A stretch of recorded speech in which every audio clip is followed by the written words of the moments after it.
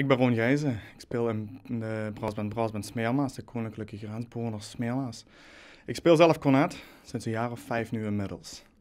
Ja goed, we wilden een stukje uitdaging natuurlijk ook brengen voor de band. We zijn afgelopen jaar gepromoveerd naar de tweede divisie. Ja goed, we vinden zelf dat we in ieder geval goed ons stukje muziek kunnen spelen. En goed, daar hoort ook een beetje uitdaging bij.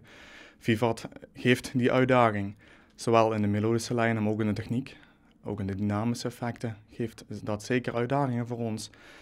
Ja, dat is eigenlijk de motivatie geweest om dit stuk te pakken. Naast het feit dat het gewoon een heel goed stuk is.